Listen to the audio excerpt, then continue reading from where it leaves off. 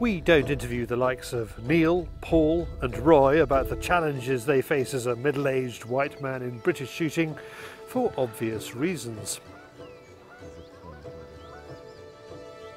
It's a situation that needs addressing, and experienced stalker Dr. Al Gabriel has been working to balance things out for years.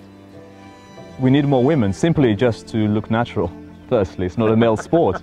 You know, the half the population, don't forget, women represent half the population. And something as critical as conservation surely must have women in it. Makeshift target, carcass box, lid, bit of cardboard.